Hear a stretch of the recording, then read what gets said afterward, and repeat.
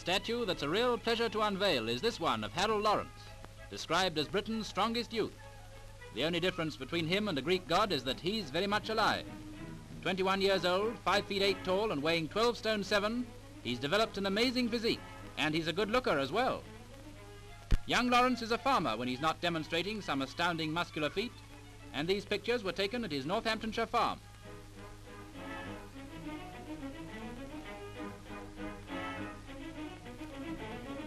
We'll start with something easy.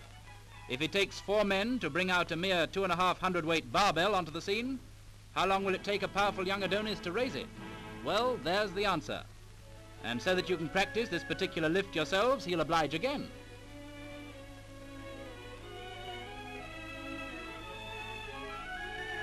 To show that the weight is genuine, he drops it onto a tin of food.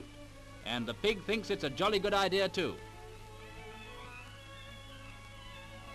Here's another spectacular lift. A two-handed snatch, as it's called, straight above the head. This time he snatched 200 pounds and got away with it. Even if he gets it in the neck, it doesn't matter. He's got that sort of neck. Now, would you believe it? Young Lawrence is still putting on weight. Those other little things were feathers compared to this. The barbell now weighs 280 pounds, slightly heavier than a bride's first cake. But what's that to our Harold? Just that,